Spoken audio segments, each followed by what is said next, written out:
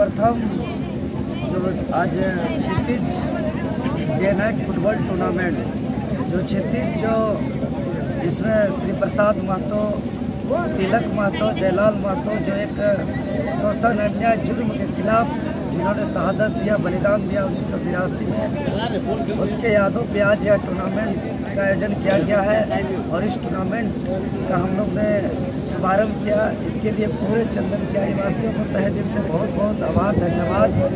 और आज के मैदान हमारा संदेश आज इस फुटबॉल के मैदान से हमारा संदेश होगा। वर्तमान समय में जो देख रहे हैं कि पबजी और फ्री फायर के गेम से अपने मानसिक हो, अपने शारीरिक हो, हर चीज़ को अपने आने वाला पीढ़ी, अपने आने वाले नौजवान धीरे धीरे धीरे धीरे मानसिक भी और स्वस्थ भी होते जा रहे हैं। तो आज इस दौर पे हमें खास करके आगे आना होगा और मैदान का जो हमारा फुटबॉल का जो खेल है या जो भी गेम है, इस गेम को हमको अपनाना ही पड़ेगा। क्योंकि अभी देख रहे हैं यह जो हमारा झारखंड का माटी है, यह शुरू से ही खेल के क्षेत्र में बहुत ही गौरवशाली इतिहास रहा है।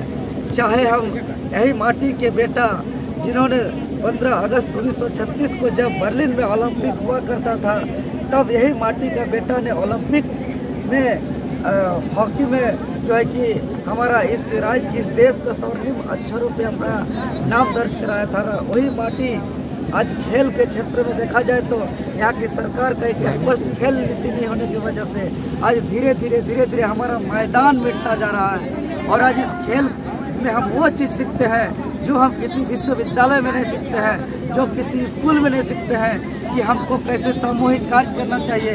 कैसे हम अपना जीवन में एक्टिव रहें कैसे हम अपना धैर्यता से काम करें कैसे अपना कंसंट्रेशन पावर को बढ़ाएँ और कैसे हम अपना लक्ष्य को हासिल करें ये हमें खेल का मैदान से जितना सीखने को मिलता है ये कोई यूनिवर्सिटी और कॉलेज में भी नहीं सीखने को मिलता है। इसलिए आज खेल का मैदान को बचाना बेहद ज़रूरी है।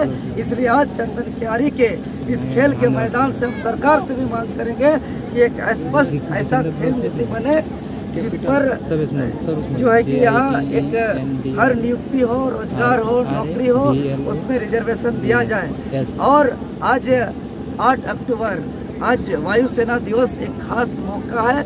यह बहुत ही गौरवान्वित दिन है।